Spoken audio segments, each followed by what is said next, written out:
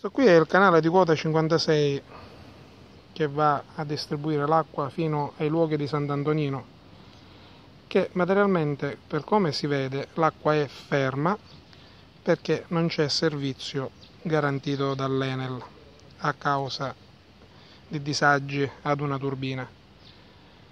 Quando si dice la lingua batte dove il dente duole questa è una delle tante situazioni per cui alla fine il servizio da parte delle, della, dell'ente non è in condizione di poter soddisfare la sua utenza.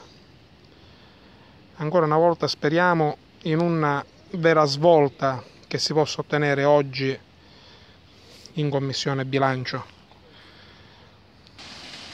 Speriamo che questo qui è l'imbocco dell'acqua da parte dell'Enel e questa è la paratoia che gestisce poi il servizio per il consorzio di bonifica. Noi chiediamo veramente che ci sia la massima sensibilizzazione da parte della deputazione regionale per risolvere una situazione che ha dell'incredibile e che porta a conseguenze gravissime per l'utenza e quindi per l'agricoltura e quindi per i prodotti e l'economia locale.